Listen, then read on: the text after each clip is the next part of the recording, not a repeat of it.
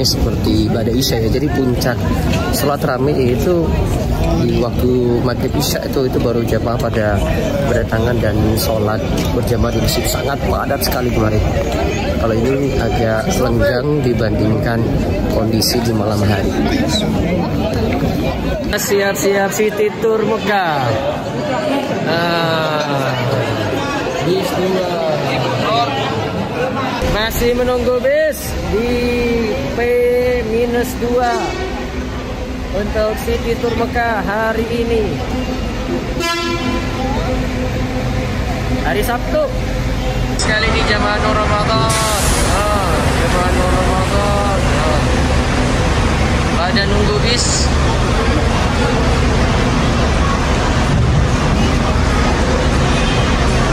Nah ini sudah siap-siap menuju ke Mekah City Tour. Kita akan ke terutama ke daerah yang nanti akan dilaksanakan ibadah haji di situ ya. Ada Arafah, Musdalifah, Mina. Kemudian kita juga akan lewati tempat bersejarah di kota Mekah yaitu Jabal Sur. Kemudian terakhir nanti akan mengunjungi Ji'rona. Ji'rona ini uh, mikot yang rencana Nabi SAW mengambil mikot dari situ. Ini tanah halal yang memang agak jauh dibandingkan dengan Tanaim. Uh, ah, Tanaim itu yang kemarin sudah kita lewati saat uh, pergi umroh dengan niatan haji tamatuk uh, di mana Tanim itu yang paling dekat ya. Tapi kalau mau urutan yang paling bagus untuk diambil mikot itu adalah Jirona, kemudian Tanaim, lalu kemudian Hudaybiyah seperti yang pernah kami singgung tentang masalah ini. Al-birra wa taqwa ومن العمل ما ترضى ومن العمل ما ترضى اللهم اللهم هون علينا هون علينا سفرنا هذا سفرنا هذا kita sama-sama berdoa semoga terus bercerah kepada Nabiullah Muhammad Sallallahu Alaihi wa ala alihi wasallam. Bapak dan Ibu, mungkin di antara kita sudah ada yang hijau dan besar sehingga bisa membantu menghalangi teriknya matahari yang menyengat saat wukuf. Yang paling tinggi?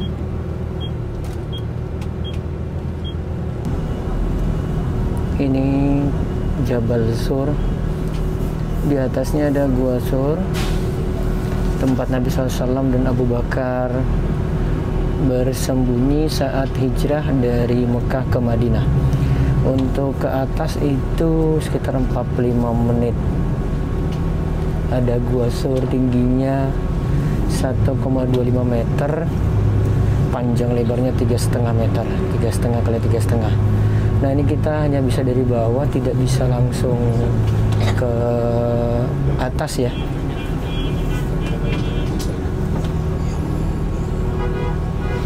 Coba kita turun dari bis dan lihat Jabal Sur ya. Hmm.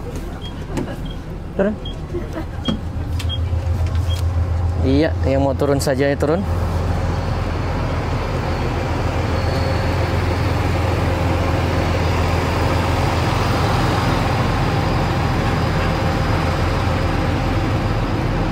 Jadi ketika Nabi SAW itu hijrah, Nabi SAW itu tidak lewat jalan yang biasa dari Mekah ke Madinah, tapi beliau lewat jalur selatan, kemudian beliau mutar ke utara dan mengambil jalan yang memang jarang dilewati. Kemudian itu ditemani oleh Abu Bakar As-Siddiq. Lantas ada juga penunjuk jalan juga yang membantu Nabi Shallallahu Alaihi Wasallam. Jadi itulah perjuangan Nabi SAW ketika hijrah. Kita tahu dari kota Mekah ini dan kita bisa lihat bagaimana perjuangan beliau dalam membela agama ini ketika di Gua Sur, di Jabal Sur ini Nabi SAW uh, sebenarnya posisi beliau itu sudah terkejar oleh orang-orang musyrik. Jadi tiga malam beliau di Gua Sur. Kemudian ada yang beri juga minum kepada Nabi SAW, memberikan uh, bantuan. Kemudian uh, saat itu sudah dalam keadaan Nabi SAW itu ya kedetek tempatnya di mana karena Abu Bakar sudah melihat orang-orang musyrik di bawah. Kemudian uh, Nabi SAW katakan kepada Abu Bakar, la tahzan, innallaha ma'ana. Janganlah sedih karena Allah itu bersama kita. Nah itu bentuk tawakalnya Nabi SAW ketika beliau berada di Gua Sur. Nur Ramadan.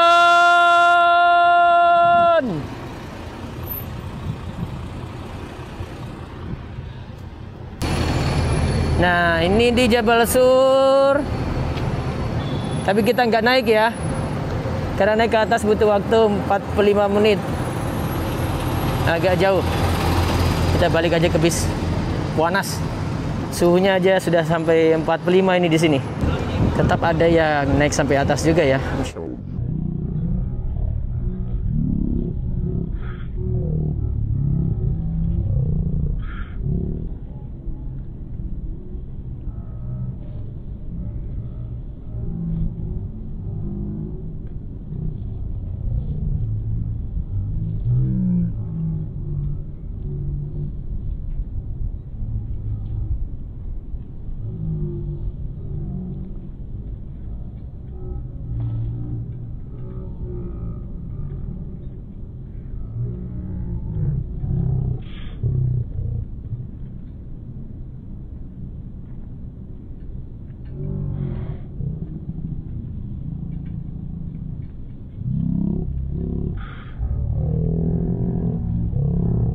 45 menit itu ke atas itu jauh sekali. Bergabung dengan Ya. kita Nur Ramadan sudah 8 tahun. Ini sudah masuk ke daerah Arafah kanan kiri ini eh, sudah ada tanda-tanda arah Arafahnya itu di mana. Eh, ini kelihatan padat kanan kiri ya karena mungkin ini musim haji saya kalau di musim umroh tidak terlihat nah, padat seperti ini. Ini masya Allah luar biasa karena pekan depan lagi sudah masuk awal Zulhijjah kemudian sudah memasuk masa-masa haji ya. Ha. Kita lihat ada tanda kuning di sebelah sana itu. Tanda kuning ada tulisan Arafah start here yaitu Arafah dimulai dari sini artinya eh, kita harus berada di area Arafah selama wukuf. Jika tidak berada di area Arafah saat wukuf berarti dia tidak melakukan wukuf di Arafah. Nah ini yang harus dipahami. Ingat Al-Hajj Arafah. Haji itu Arafah. Ingat haji itu Arafah.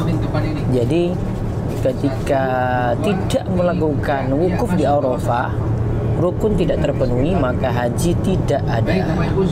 Nah sebelah kiri ini, ini sebelah kanan ini untuk tenda jamaah haji reguler di Arafah ya. Sudah dijadikan nih. Kalau pas musim umroh ini tidak ada.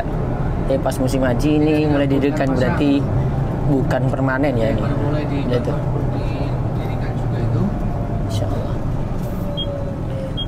didirikan ada AC- AC-nya nggak Ustaz? Yang reguler? Tetap ada AC-nya tapi beda. Nah, beda. AC-nya AC berhubung yang besar itu. Tetap diberi kemudahan juga ada AC di tenda-tenda yang ada nih.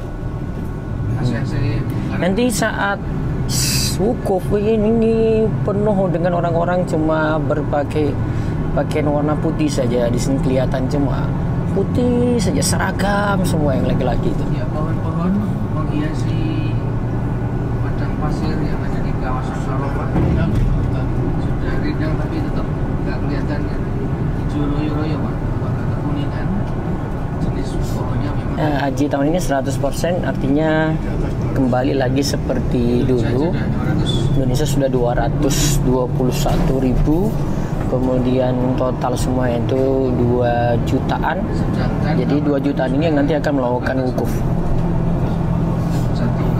Nah, tenda haji khusus ada di atas bukit, agak naik.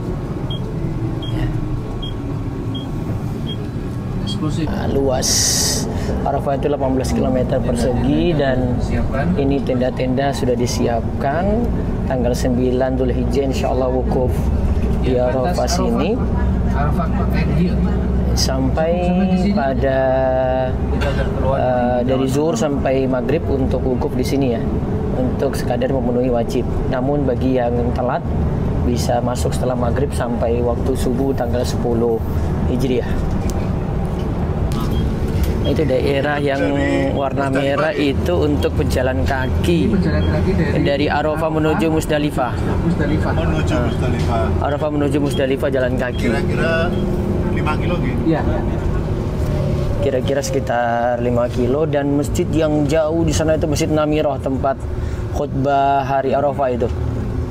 Rasulullah SAW ketika khutbah Arafah berada di masjid Masjid Namirah sebelah sana kanan tuh. Arafahnya di sana Tapi masjidnya dibagi dua, ada yang masuk tanah halal, ada yang masuk tanah haram. Eh ada yang masuk Arafah, ada yang di luar Arafah. Masjidnya itu Oh, iya iya. di dalam satu masjid. Lebih efisien jalan kaki apa naik bis? Naik bis. Naik bis saja pak. Oh, naik bis. naik bis saja pak. Kalau sudah ada fasilitas, fasilitas saja. Nanti kalau jalan kaki nggak nyampe gimana? Nah kalau kita lihat di Google Map jarak antara Arafah dengan Musdalifah sekitar 14 kilo. Nah kita lagi menuju ke Musdalifah. Ini salah satu wajib haji harus mabit di Musdalifah sampai uh, pertengahan malam. Uh, setelah tengah malam jika ada yang punya uzur boleh keluar, namun yang sampai dilakukan oleh Nabi SAW itu hingga subuh dan sholat di situ, kemudian matahari mulai menguning, kemudian beranjak menuju ke Mina untuk melempar jumroh akobah. Nah sebelah kanan bis ini ada jalur berjalan kaki itu jelas banget, jalan warna merah ini ya ini. Dia akan berjalan sekitar 14 kilo sampai di Musdalifah ya. Kalau di Google Map bilang gitu.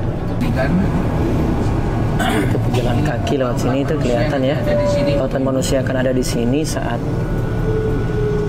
malam 10 Dzulhijjah.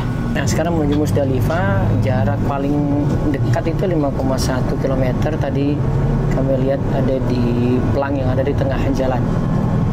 Jadi eh, agak dekat tapi kalau ke Musdalifah yang ujungnya dia bisa sampai 14 km. Nah, ini bis lagi menuju ke Musdalifah. Di pelang jalan ini bisa dilihat Musdalifah sisa 4,1 km dari sini. Pak jelas Musdalifah 4,1 km, Mina 7,9 km. Berarti agak beda dengan yang saya baca tadi dari Google Maps. Nah, sebelah kiri ini nampak rel kereta yang menggunakan kereta dari Arafah ke Musdalifah maupun ke Mina ini. Nah, ini sudah masuk Musdalifah, Musdalifah start here. Ini sudah ada tulisan Musdalifah sudah masuk di sini, maka yang sudah masuk daerah sini uh, sudah bisa mabit di Musdalifah sampai pertengahan malam yang afdolnya nanti sampai subuh dan sholat subuh di Musdalifah. Ini masjid Masyaril Haram di Musdalifah. Ini masjid Masyaril Haram di Musdalifah. Pak sebelah kiri itu sudah ada kerikil-kerikil yang ditabur. Nah, untuk lempar jumroh di Mina di tanggal 10, 11, 12 maupun yang nafar sani sampai tanggal 13. Nah, itu sudah tampak nih. Nah, ini kerikil-kerikil nih. Ini area Mina Jadid di sebelah kanan. Itu tampak tenda-tenda Mina tambahan ini sebelah kanan. Mina Jadid ini Mina tambahan yang di mana masuk wilayah Musdalifah setelah diperluas ini ya, setelah diluaskan. Ini.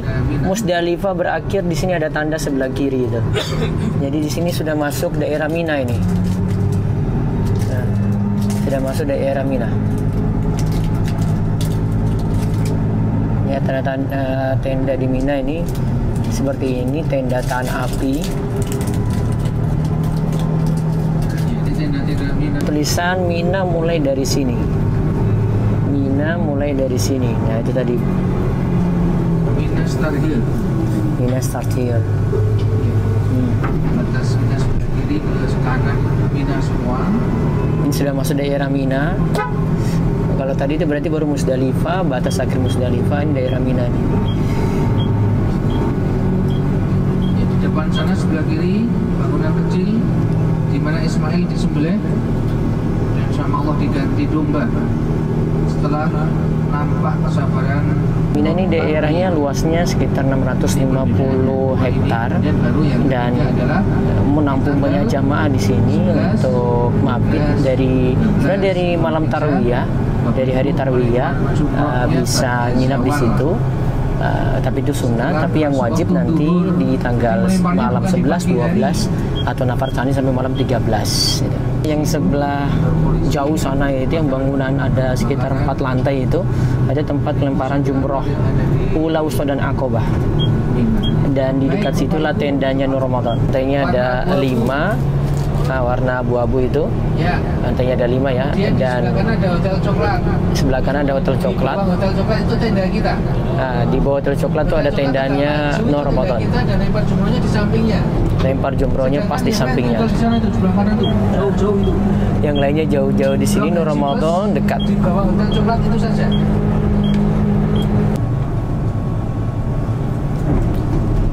Tenda Malaysia sebelah kanan. Di depan Bapak Ibu bisa lihat terowongan itu. Kaki bukit libur. Ke- terowongan. Jalan. Tenda kita sampai sini kemudian jalan. Nah, mikot dari tanah halal itu bisa kita pilih tiga. Ada dari Ji'rona, ada dari Tanaim atau Masjid Aisyah, dan kemudian ada dari Hudaybiyah.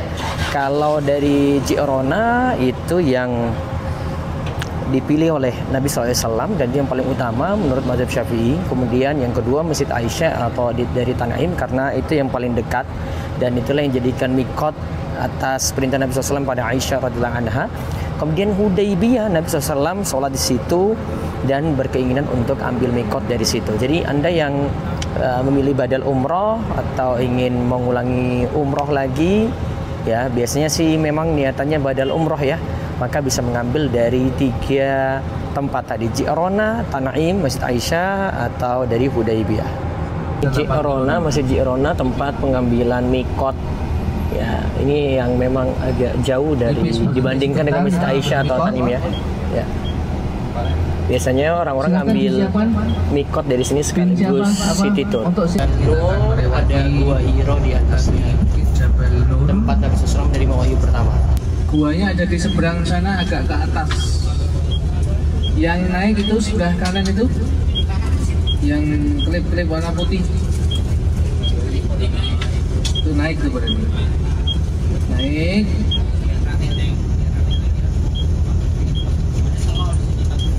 Dulu saya naik 2007 itu di atas ketemu namanya Abdul Wahid. Tapi istrinya dua.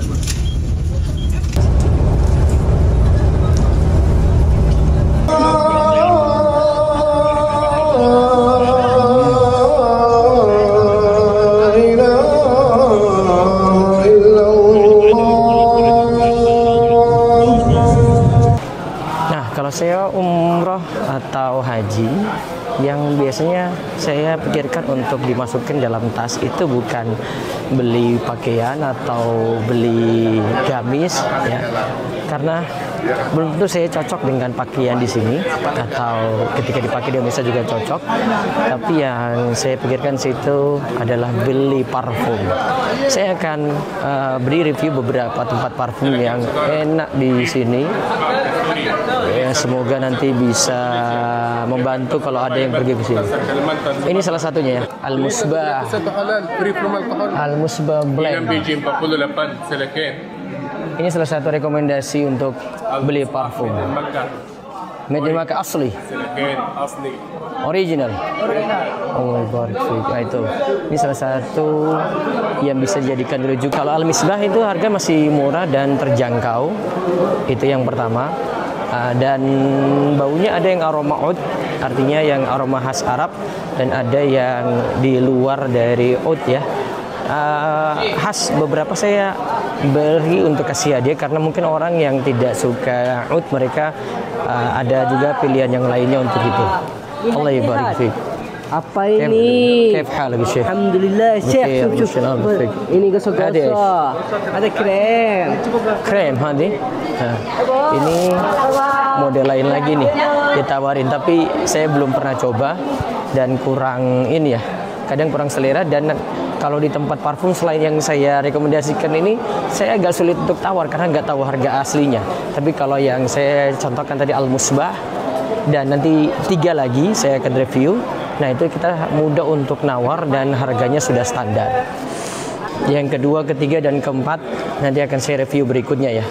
Tidak saat ini dulu, tapi tunggu saja. Yang pertama al musbah tapi bukan berdasarkan prioritas ya.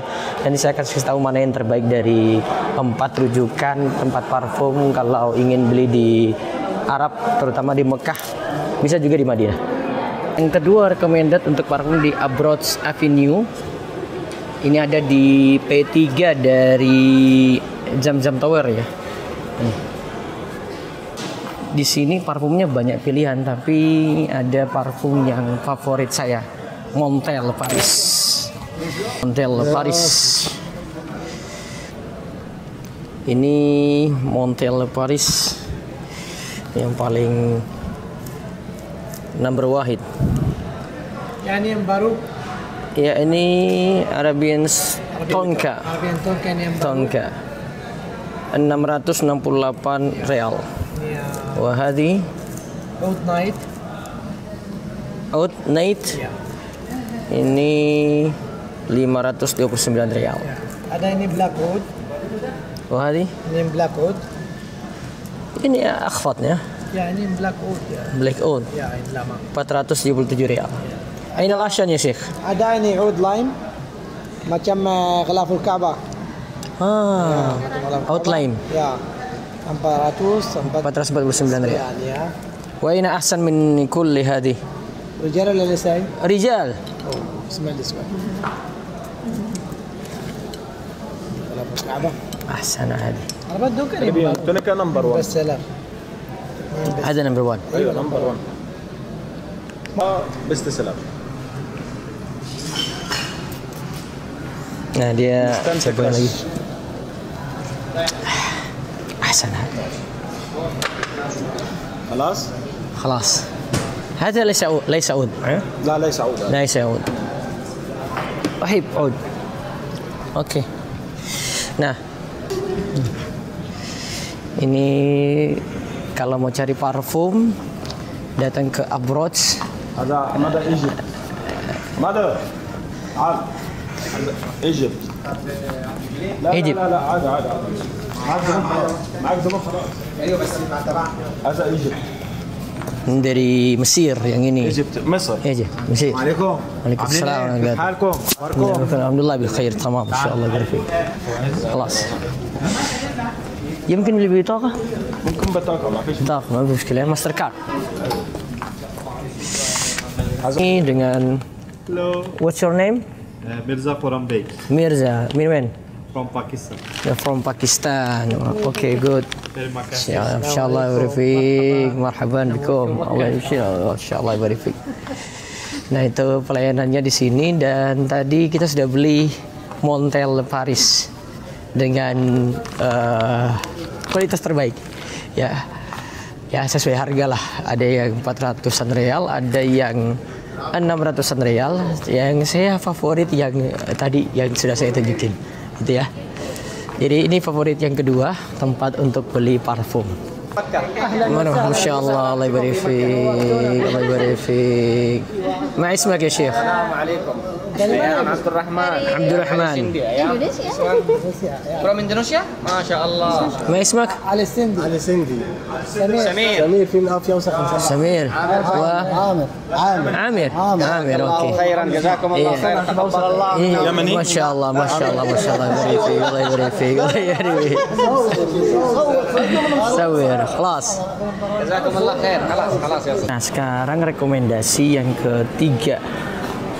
Rekomendasi yang ketiga namanya Al-Majid Al-Majid Al-Ud Majid Al-Ud Ini saya rekomendasikan beberapa ini ya wangian beberapa parfum. Ada yang namanya Aris. Ini Aris. Eh, ada yang namanya Hakim. Hakim. Hakim. Nah, sini biasanya ada diskon-diskon tapi saat ini nggak ada. Katanya pekan depan, badal usbu setelah satu minggu. Ah, tadi bentuk-bentuknya nih. Tadi saya tanya ah, kapan ada diskon untuk Al Majid Al Ud tadi. Katanya setelah satu minggu. Ah, jadi ketika musim haji. Padahal saya sudah tidak di sini lagi. Minggu depan tuh sudah di apartemen. Jadi uh, sayang sekali melewatkan diskon di sini. Satu lagi saya tunjukin. Nah, pokoknya cek di Zamzam Tower ya. Zamzam Tower itu ada uh, yang favorit-favorit parfum. Ada satu lagi di sini namanya Al Arabia Lil Ud. Ini saya sudah beli pas di Madinah. Jadi harganya sama mau di sini ataupun di sana. Sayangnya juga di sini belum ada diskon ya. Al Arabia Lil Ud. Ini coba. Nah ini. Ini favorit saya yang kedua sebenarnya, tapi ini yang ketiga ya dari urutan kita perkenalan ya. Nah, beli Woody. Ini recommended banget. Ada lagi Resa lah di bawahnya itu. Tapi sayangnya itu harus beli banyak baru dapat diskon di sini. Tuh. Ini recommended banget ini. Ini favorit saya setelah Abroads ya. Tambahan untuk body oud ini yang pakai yang oles ya. Nah, dia tulis di sini khosam 50% la jami'il muntajat. Jadi ada diskon 50% nih. Tapi ini yang sedang yang oles ya, bukan yang semprot. Nah, ini. Ini bisa per mili di atas 100 real ya. Sangat-sangat mahal memang ini. Abdul Somad Korosi. Tapi yang saya rekomendasikan itu tadi ya. Nah, Arabian Oud. Ini dapingin aja kalau di Zamzam Tower. Nah, sudah berapa tadi saya sebutkan? Jadi dari kemarin saya sebutkan Al-Musbah, terus tadi Al-Majid Al-Ud, ya Al-Majid Al-Ud, kemudian Arabian Ud, kemudian eh, yang kemarin saya ke atas itu Abroads Avenue, kemudian yang terakhir tadi ada Abdus Somad Kurosi. Nah, saran saya kalau mau beli itu yang harganya sudah jelas dan nanti ada musim diskon ya daripada kita tawar-tawar gitu. Kalau sudah ada harga jelas, enak belinya. Jadi kita tidak dibohongin. Kadang dia dia mulai pukul harga itu dari 500 real kemarin saya pernah tawar itu. Dia, dia tawarkan saya 500 real sampai bisa dapat 100 real saja 170 real coba lihat itu kan suatu yang nggak mungkin ya karena di harga itu tidak tercantum di situ atau mungkin ada tapi kita tidak tahu eh, dia itu sebenarnya punya modal atau harga asli itu berapa gitu ya. Itu sarannya ya kalau mau beli parfum di Saudi ya. Tapi kalau dari sisi parfum memang berkualitas sekali. Kalau kita beli di Saudi sini favorit banget deh. Saya rekomendasikan untuk uh, koleksi parfum kalau di sini. Saya lebih senang beli oleh-oleh parfum daripada pakaian ya. Kalau pakaian mungkin lebih cocok yang di Indonesia. Kalau makanan bisa beli Seven Day. Terjadi perdebatan sengit atau perbedaan sebagian orang di mana kalau sholat di hotel saja karena di hotel juga ada musola tidak perlu ke Masjidil Haram ramai dan padat seperti ini. Nah saya akan bahas secara tuntas kenapa saya lebih memilih ke Masjidil Haram ke haram dibandingkan sholat di funduk sholat di hotel yang walaupun sudah ada musola di P9 dan 10 di hotel saya ya. Nah saya akan beritahu alasan-alasan. Sampai sampai sholat seperti ini padatnya seperti ini. Ada yang panas juga di sini. Nah, sampai pun sholat di jalan dan diusir ya. Nah, ini tentu kesan yang kita dapati berbeda dibandingkan di hotel ya Lihat padatnya ini di lantai rooftop sebenarnya kemudian eh, kepadatan jamaah ini kalau kita mau bandingkan dengan sholat di hotel apa dapat kesan seperti ini ya nah ini dan kita menghukumi pahala sama pada berjuang ke masjid seperti ini coba lihat. Tuh. Kaidah makan aksaru fi'lan karena aksaru fadlan. Yang lebih banyak perjuangannya aktivitasnya pahalanya tentu lebih besar. Sebagaimana kata Imam Suyuti dalam Al-Ashbah wan Nadhair. Yang sangat padat kita bisa. Tuh lihat padatnya malam ini nih nih. Ini baru waktu maghrib nih. Apa pas kita hukumi sama ya? Sholat 100 ribu di Masjidil Haram. Dengan 100 ribu di 100 ribu kita hukumi sholat di Masjidil Haram. Dengan 100 ribu di funduk di hotel semacam ini nih. Di sini ada ruangan-ruangan di ujung itu yang di P9 dan P10 itu yang langsung masjid menghadap ke Masjidil Haram.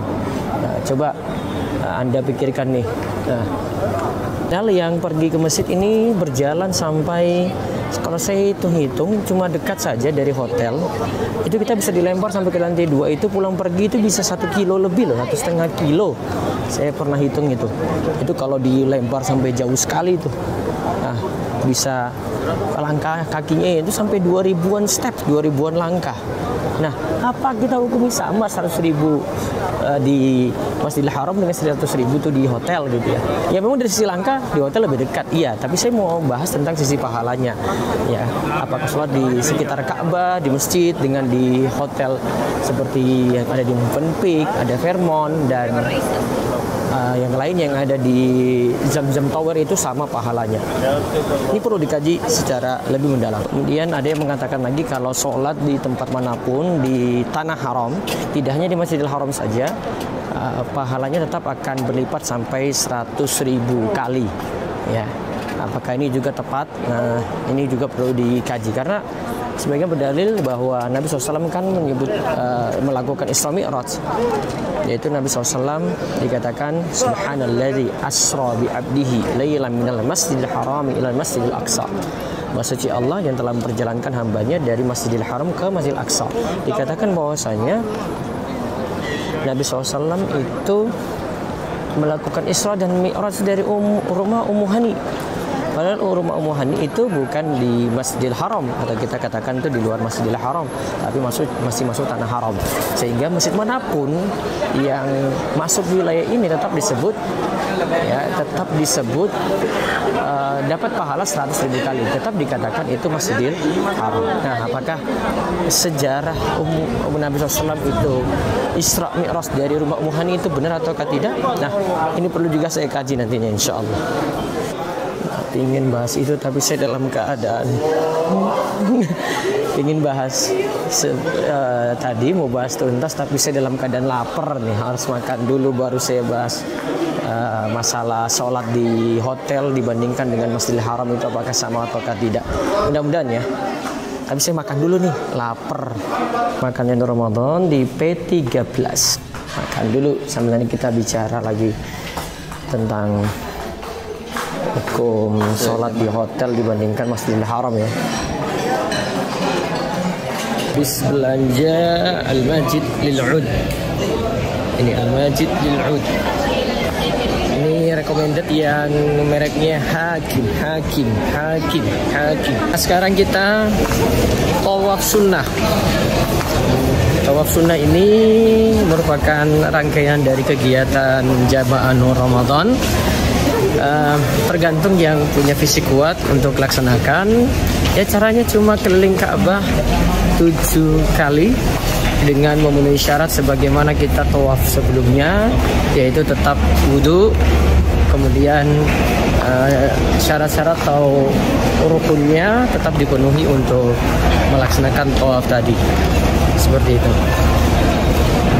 Asalnya untuk tawaf sunnah tidak perlu ittiba dan tidak perlu romal uh, itiba itu artinya membuka pundak kanan sini nggak perlu terus tidak perlu rommel yaitu lari-lari cepat untuk uh, langkah cepat ya jalan cepat. Jalan cepat untuk putaran ketiga ya, tiga putaran pertama ya. Nah, itu tidak perlu juga. Nah seperti itu ya. Nah, ini sudah siap-siap masuk nih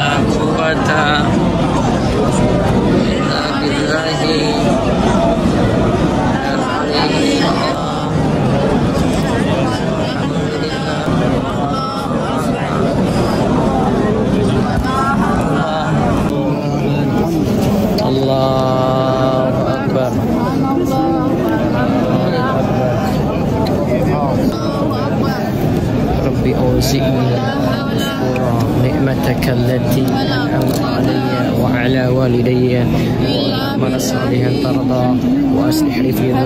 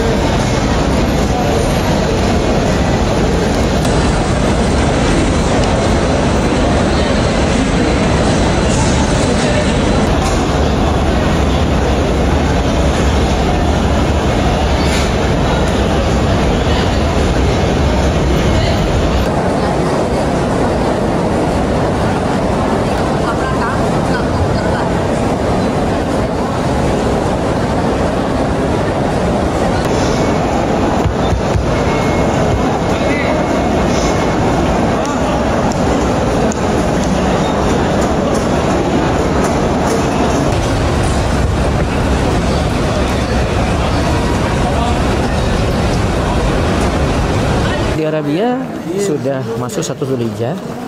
Namun kalau di Indonesia besok Selasa ya sudah masuk satu Zulhijjah. Nah, di awal Zulhijjah ini kita diperintahkan untuk memperbanyak takbir, yaitu takbir mutlak di mana pun, kapan pun, Ah, tidak mesti ada sholat, tapi waktunya bebas, yaitu ah, terserah karena disebut dengan takbir mutlak tadi. Dan yang belum berkorban, ayo berkorban ya. Dan di Indonesia uh, kan hari Selasa ya, maka batas untuk satu Dzulhijjah tadi kan mulai larangan potong kuku dan rambut, maka sejak maghrib hari ini monggo bisa uh, uh, sebelum maghrib potong kuku, potong rambut agar bisa menjalankan sunnah uh, Nabi ketika masuk ke Dzulhijjah tidak dan potong rambut sampai nanti hewan kurban disembelih. Dan masih ada kurban kesempatan kurban di Indonesia Timur. Ayo ikut serta. Semoga Allah berkahi rezeki kita semuanya. Allah ibarik fiik.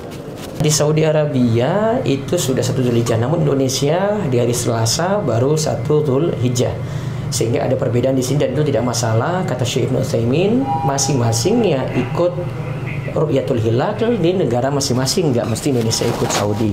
Nah dari sini kita bisa lihat bahwa uh, ada sunnah di sejak satu Zulhijjah untuk memperbanyak takbir ya dan yang belum berkorban ayo niatan untuk berkorban dan yang sudah niatan berkorban jangan sampai lupa ya larangan potong kuku dan potong rambut berlangsung atau berlaku sejak awal Zulhijjah sampai hewan korban disembelih semoga Allah berkahi rezeki kita semuanya dan Allah menggantikan dengan rezeki yang banyak bagi yang berkorban. Allah ibarik.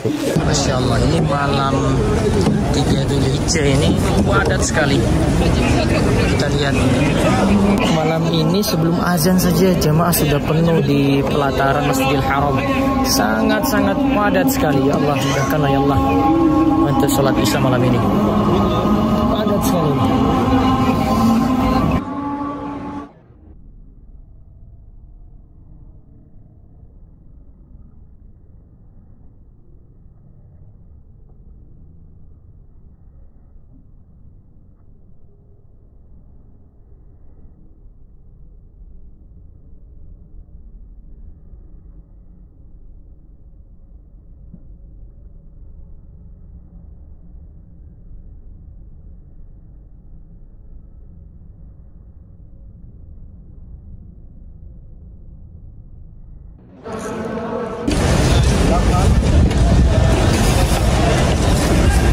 Hari ini keadaan padat sekali di Masjidil Haram malam 3 Dzulhijjah.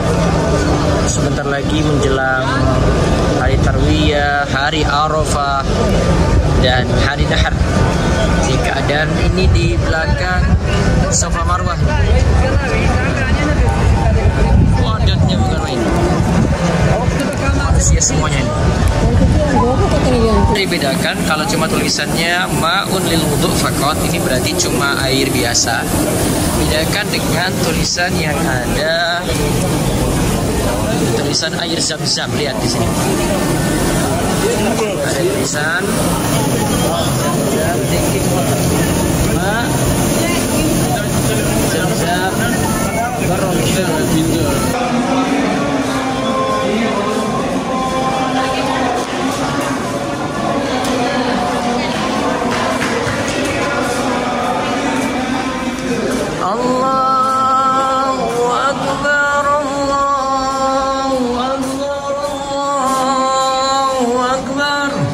Saya mau melanjutkan yang kemarin saya bahas tentang mana yang utama ya.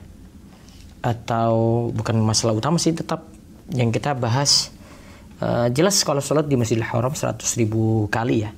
Tapi yang ingin saya bahas itu apakah kalau sholat di hotel hotel sholatnya ya Eh, ada beberapa hotel di sekitar Masjidil Haram ini seperti Fairmont, ada Movenpick, Rotana, itu punya musola atau masjid sendiri di dalam hotelnya ya. Dan itu langsung menghadap ke Masjidil Haram. Artinya mereka yang sholat di situ nanti akan melihat eh, orang-orang yang sholat di Masjidil Haram. Walaupun saya sejatinya belum pernah ke situ ya, tapi saya ingin menjelaskan tentang uh, hukum sholat di tempat yang beda gedung ya. Nah, karena di Masjidil Haram itu sendiri gedungnya atau masjidnya sendiri kemudian musola atau masjid di hotel itu sendiri.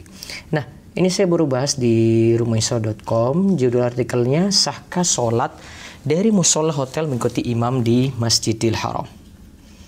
Ini beberapa hari lalu saya bahas.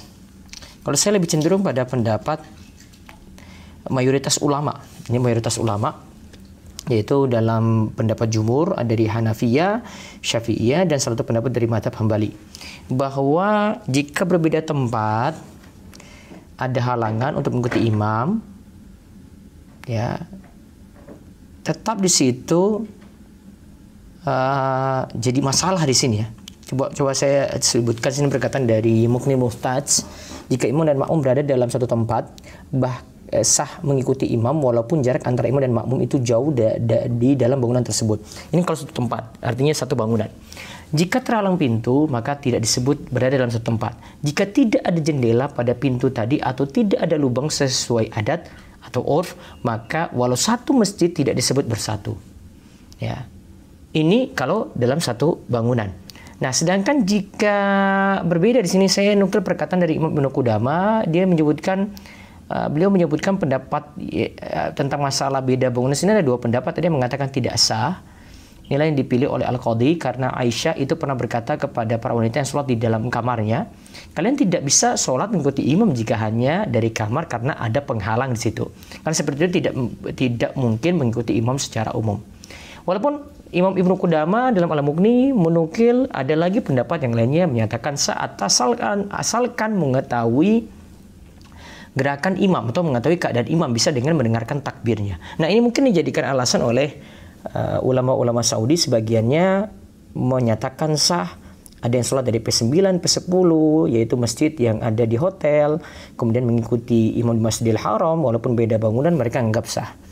Tapi saya lebih cenderung kepada pendapat yang menyatakan tidak sahnya karena softnya itu disyaratkan bersambung dan ini juga dikatakan oleh Syekh Ibnu Utsaimin. Beliau katakan sholat yang dilakukan tidak sah karena softnya tidak bersambung inilah pendapat yang lebih tepat saya juga bertanya kepada Dr. Amin bin Usman dari Markas Tarim Al-Fiqhi Hadramaut Yaman ia katakan juga sholat bagi makmum di hotel sekitar Masjidil Haram adalah sholat yang tidak sah ada beberapa alasan mengenai tidak sahnya yaitu soft tidak bersambung satu terus yang kedua tidak bisa menghadap kiblat dengan tepat yang ketiga terpisah dengan bangunan dan jalan. Maka saran saya lebih hati-hati kalau punya kemampuan ke Masjidil Haram walaupun akhirnya cuma dapat di depan Zam-Zam Tower, depan mall Karena safnya itu biasanya juga bersambung apalagi dengan kepadatan yang luar biasa dari masjid sampai ke jalan-jalan itu ada ya. Ada jamaah maka saran saya eh, tetap berusaha keluar tidak hanya mencukupi sholat dari masjid di hotel. Semoga dipahami hal ini dan jadi ilmu yang manfaat.